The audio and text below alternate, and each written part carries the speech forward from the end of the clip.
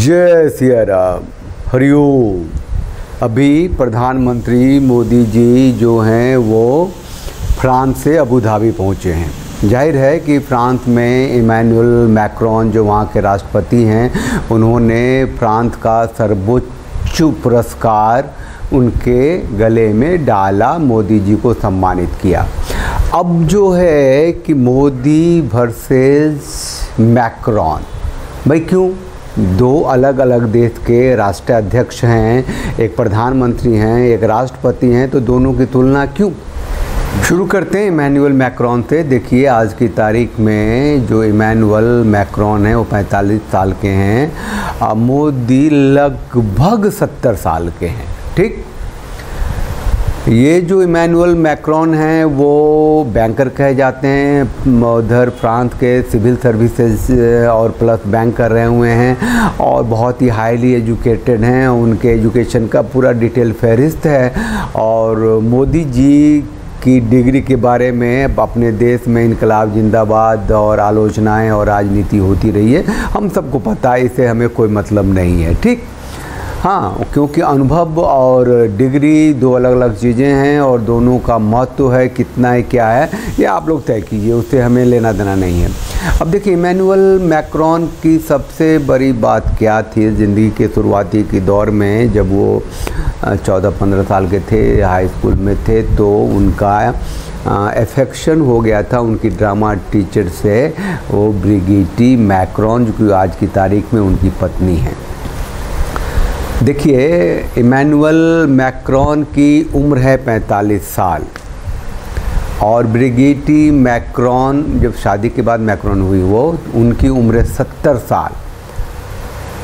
जब उनकी शादी हुई 2007 में तो इमैनुअल मैक्रोन थे उनतीस साल के और वो थी चौवन साल की। ठीक?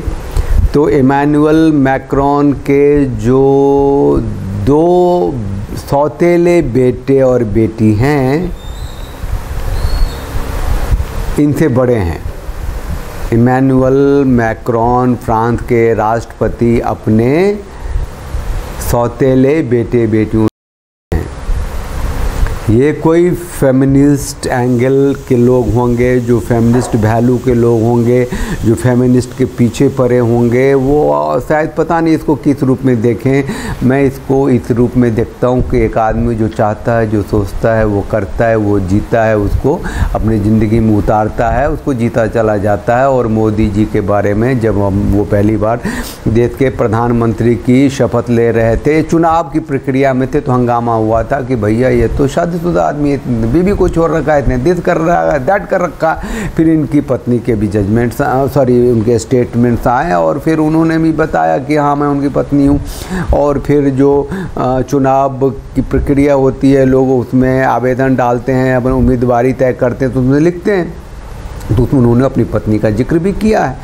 तो ऐसा नहीं है कि उन्होंने ज़िक्र नहीं किया, लेकिन वो नहीं रहते हैं और कई जगह पर, कई तरीके से उन्होंने खुद को एक स्वतंत्र पुरुष के रूप में उन्हें स्वतंत्र तो सारे ही होते हैं, लेकिन पत्नी के साथ थोड़ी सी ज़िम्मेदारी और दूसरे तरह की हो जाती हैं, उन्होंने कई लोगों की नज़र में वो भगोरे भी रहे हैं। और कई लोगों की नज़र में वो झूठे भी रहे क्योंकि ये जो आर एस एस है राष्ट्रीय स्वयंसेवक है, वहाँ रहने के लिए ब्रह्मचर्य धारण करना पड़ता था। तो शायद हो सकता है उसीलिए उन्होंने इतनी बड़ी, इतना बड़ा त्याग किया होगा। तो त्याग के पीछे एक जो नारी प्रत्या, प्रताड़ना है, पीड़ा, जो भी है, उधर हम नहीं जाते। खैर, अब आगे बढ़ते हैं। देखिए हरिओम, फ्रांस में मुसोलोनी के बाद ये इमानुअल मैक्रोन ही सबसे कम उम्र के राष्ट्रपति बने हैं, है ना? 2017 में पहली बार चुने गए थे 2022 में दूसरी बार चुने गए।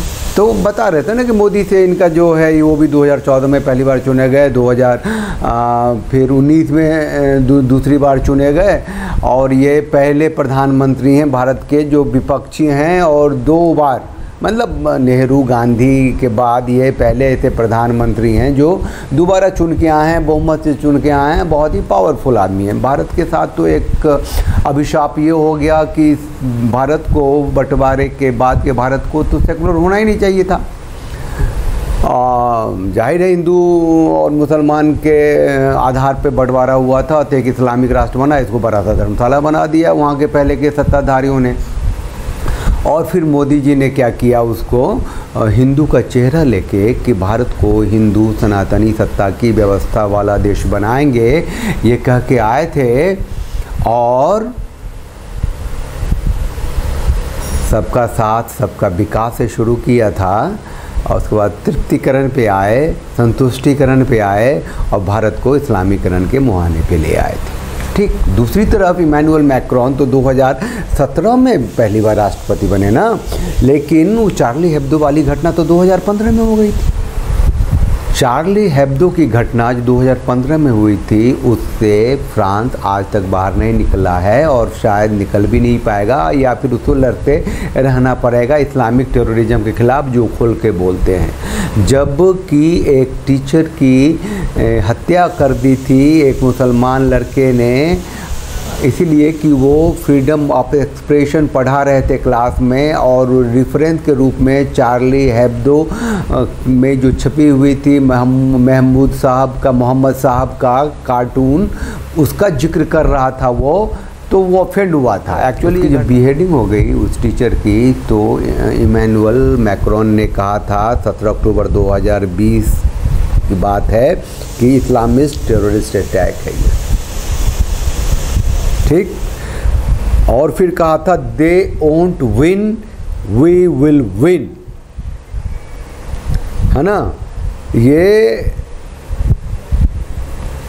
इसका जो एक तुर्की देश है, आपको पता होगा, उसे इस बात की फ़िक्र नहीं थी कि एक टीचर की हत्या हो गई है, उसे इस बात की फ़िक्र थी कि फ्रीडम ऑफ़ एक्सप्रेशन के नाम पे Emmanuel Macron, president of France, ने उसको डिफेंड किया है, कार्टून को। और ऑलमोस्ट सारे जो मिडिल ईस्ट के मुसलमान देश हैं, अरब देश हैं, उसने इस बात की आलोचना की थी कि इमैनुअल मैक्रॉन ने गलत किया है। लेकिन उसका जो एजुकेशन मिनिस्टर था फ्रांस का उसने कहा killing of a teacher was an attack on the French republic उसने उसे फ्रेंच रिपब्लिक पे अटैक मान लिया।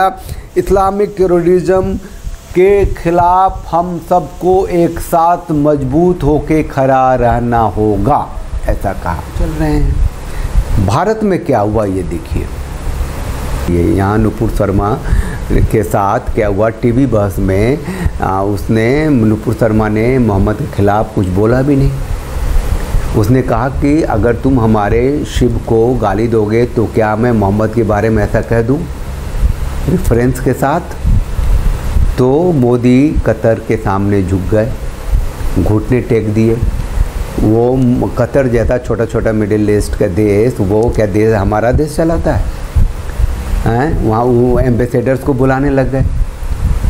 और मोदी यहाँ आके कह रहे हैं कि भारत जो है सेकुलर देश है और ये नुपुर शर्मा को फ्रिंज एलिमेंट कर दिया। एक नवीन जिंदल था, उसको भी पार्टी से हटा दिया, ज़िंदा है कि मर गया, पता ही नहीं चला।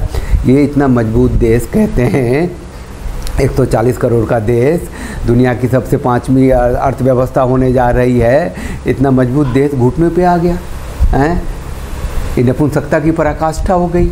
घर की बेटी को नहीं बचा सका। ये नपुंसकता की पराकाष्ठा हम बोल रहे हैं, लेकिन मोदी के लिए हो सकता है उनका पॉलिसी हो, है ना? उनका उनका देश को ऐसा बनाने की सोच हो। हम नहीं समझते हैं ना? इमैनुअल मैक्रॉन ने कहा will fight will win will act against Islamic terrorism वहाँ कायम है। 2017 में वो आदमी वहाँ का राष्ट्रपति बना। 2021 आते आते एक उसने कानून बना दी। आया lawmaker in the French parliament lower house on Tuesday over overwhelming approved a bill that would strengthen oversight of mosque schools and sports club to safeguard France from radical Islamist and to promote respect for French value Macron's landmark project इतने कानून बना दी कि French में France में जो भी मस्जिदें हैं, उसकी फंडिंग कहाँ से होती है मौलवी कहाँ से आते हैं, अजान कैसे दी जाती है, उनकी स्कूलों में क्या पढ़ाया जाता है, वो क्लब में क्या करते हैं, उस सब पे हम जाँच बैठाएँगे, उसको देखेंगे, कानूनी रूप से वो हमारे संरक्षण में रहेंगे और उन्हें पढ़ाया जाएगा कि फ्रेंच की सोच क्या है फ्रेंच की आइडियोलॉजी क्या है? फ्रेंच का बिहेवियर क्या है? फ्रांस एक देश के रूप में कैसा है, उन्हें उसके आइडियोलॉजी को रिस्पेक्ट करना होगा वैल्यू करना होगा। ये कानून बना दिया। ठीक? मोदी जी ने क्या किया? सी ए लाया। साइन बाग हो गया, रोक दिया उसको।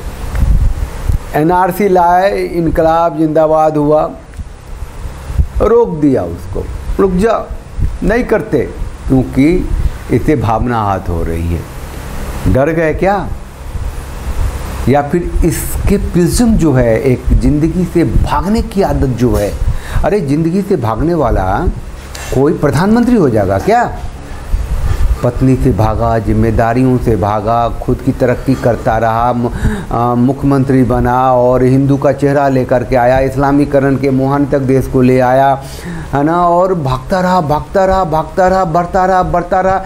तो क्या वो ए, एक पुरुष होकर के पूरे भारत को धोखे में रख लिया उस आदमी ने? C A gone NRC gone, UCC जो इस मानसून सत्र में आता था, ख़त्म, उड़ गया। ये सब कबूतर थे उसके लिए, कहीं से पकड़ के लाया, खेला, कूदा, उसे उड़ा दिया, चलो शांति का प्रतीक, उड़ जाओ। भारत को शांति चाहिए। धारा तीन सौ सत्तर, अरे बाप इतना मज़बूत नेता धरती पे पैदा नहीं हुआ। एग्रीकल्चर लॉ ले आया डोमिसाइल ले आया, घुमा फिरा के कश्मीर को वही है जो रहने दिया। 2019 पाँच अगस्त को ही ना वो आता धारा तीन सौ सत्तर हटाया था। आज तक रूल्स नहीं बने रेगुलेशंस नहीं बने, धारा तीन सौ तीन सौ सत्तर का इम्पैक्ट क्या होगा, वो उसी भाषणों में दिखता है। क्या फ़र्क पड़ता है आपके लिए, हमारे लिए? कश्मीर क्या बदल गया है? समझ रहे हैं टारगेट किलिंग अभी भी हो रही है। तो ये करा वो 140 करोड़ का देश है भारत लैंड के हिसाब से तो सिर्फ़ दो परसेंट लैंड है, आबादी पता नहीं कितनी परसेंट है जिसको twenty percent of the world आबादी। तो ये कौन सा देश है भी और जो फ्रांस है, वो सिर्फ़ छः करोड़ की आबादी है, वहाँ दस परसेंट जो हो गए हैं मुसलमान माइग्रेटेड है ना, पचास साठ लाख के करीब हैं। हाँ यहाँ करोड़ों में तो घुसपैठिए हैं। उनको प्लीज़ कर रहे हैं मोदी जी। उनके लिए तर्क करते हैं, वितर्क करते हैं, अल्लाह के निन्यानवे नामों में सब शांति के संदेश ही देते हैं, है ना? मोदी जी कहते हैं कि जो इस्लाम, जो है इस्लाम के आदर्शों से बंधा हुआ देश भारत है, मोदी जी गौरक्षकों को गुंडे तक कह देते हैं और वो कहते हैं, क्या ये मूर्तियों में, पत्थरों में क्या इनक्रेडिबल इंडिया है? हरिओम एंड वैल्यू क्या है वो देखिए। चार्ली हेब्दो के प्रकरण के बाद 12 पत्रकारों को आतंकवादियों ने, इस्लामिक टेररिस्टों ने ख़त्म कर दिया, वो झुके नहीं। है ना? ये फ्रीडम ऑफ़ एक्सप्रेशन पे डटे रहे। सत्ताईस जून 2023 को नहल की मृत्यु के बाद जिसे पुलिस की गोली से मारा गया, फ्रांस को माइग्रेटेड मुस्लिम ने जला दिया और वहाँ सिर्फ़ nine percent Muslims on record हैं। तो कहता क्या है फ्रांस? आज भी France would not give up cartoons drawings even if others back down सारे मुसलमान देश मैक्रॉन को गाली दे रहे हैं। सारे मुसलमान देश मोदी को हाईएस्ट सिविलियन अवार्ड दे रहे हैं। फ़र्क ये है बहुत बड़ा। और मोदी किसी और देश के नागरिकों को भारतीय पुरस्कार क्यों नहीं दे रहे? वो नेहरू पुरस्कार तो देते थे ना मदर टेरेसा तक को दिया था। बाद में भारत रत्न भी दे दिया था, धर्मांतरण की मशीन होके आ गई थी। है ना, फिर गांधी पीस पुरस्कार दिया था कईयों को। अब तो वो सब मोदी को सूट नहीं कर रहा है। अब कोई खलीफा हिंद जैसा कोई पुरस्कार जब क्रिएट करें मोदी जी, इस टर्म के बाद 2024 के बाद जो शायद प्रधानमंत्री बने या बनेंगे ही, क्योंकि विकल्प तो कुछ दिख नहीं रहा, विपक्ष दिख नहीं रहा तो फिर खलीफा हिंद जैसा एक पुरस्कार को हाईएस्ट सिविलियन अवार्ड को भारत के अवार्ड को कंस्टिट्यूट करेंगे और फिर मिडिल ईस्ट से लेकर के जिन जिन राष्ट्राध्यक्षों ने इनके गले में वो मेडल वो पुरस्कार पहनाए हैं, उसको हर साल, दर साल बुलाएँगे और देंगे। एक साल में दो दो भी दे सकते हैं। कोई अमर पी के तो आया नहीं है, ज़िंदगी रहते ही सबकी कर्ज चुकाई हो जाए तो बेहतर है। तो चलिए चैनल को लाइक कीजिए शेयर कीजिए सब्सक्राइब कीजिए और बेल आइकन को प्रेस कर दीजिए। जय सिया राम हरिओम